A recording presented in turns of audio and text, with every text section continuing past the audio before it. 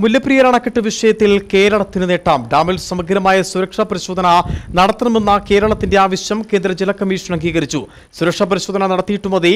അറ്റകുറ്റപ്പണി എന്ന ശക്തമായ നിലപാടാണ് കേരള മുല്ലപ്പെരിയാർ മേൽനോട്ട സമിതി യോഗത്തിലെടുത്തത്. അണക്കെട്ടിൽ ആദ്യം അറ്റകുറ്റപ്പണി നടത്തണമെന്ന തമിഴ്നാടിന്റെ ആവശ്യം അംഗീകരിക്കാനാവില്ലെന്നും കേരളം വ്യക്തമാക്കി. കേരളം നിരന്തരമായി ആവശ്യപ്പെട്ടുകൊണ്ടിരുന്ന വിശദമായ അണക്കെട്ട് സുരക്ഷാ പരിശോധന പന്ത്രണ്ട് മാസങ്ങളിൽ പൂർത്തീകരിക്കുവാൻ തീരുമാനമെടുത്തു.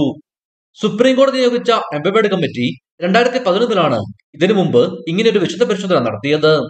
സ്വതന്ത്ര വിദഗ്ധന്മാർ ഉൾപ്പെടുന്ന സമിതിയിൽ കേരളം കൂടി നിർദ്ദേശിക്കുന്ന അജണ്ട കൂടി ഉൾപ്പെടുത്തി അണക്കെട്ടിന്റെ ഘടനാപരമായ സുരക്ഷ ഭൂകമ്പ പ്രതിരോധ സുരക്ഷ പ്രളയ സുരക്ഷ ഓപ്പറേഷൻ സുരക്ഷ എന്നിവ പരിശോധിക്കും.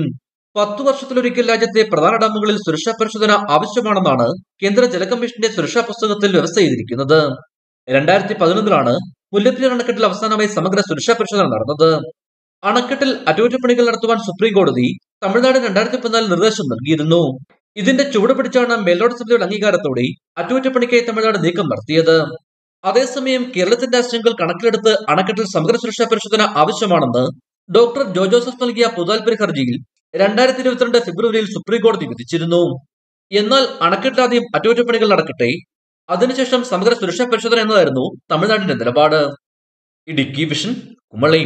ഇനി ലോ പ്രൈസിൽ ഹൈ റേഞ്ച് ഓണം. ഏറ്റവും പുതിയ കളക്ഷൻസ് ഏറ്റവും കുറഞ്ഞ വിലയിൽ. High range home appliances